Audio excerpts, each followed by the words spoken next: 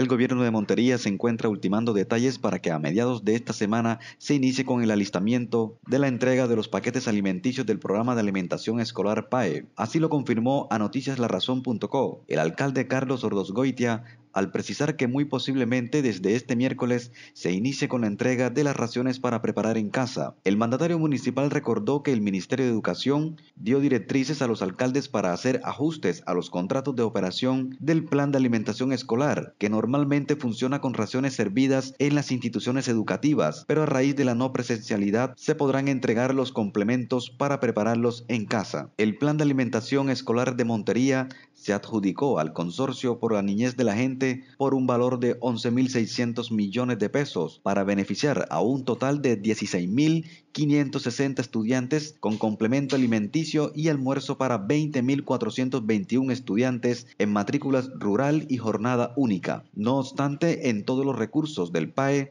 se invertirán en la entrega de estas raciones solo los correspondientes a un mes de entrega de raciones o 20 días calendario escolar. Se trata de complementos, no mercados. Las porciones equivaldrán al gramaje que cada alumno recibiría diariamente si estuviera en la institución educativa.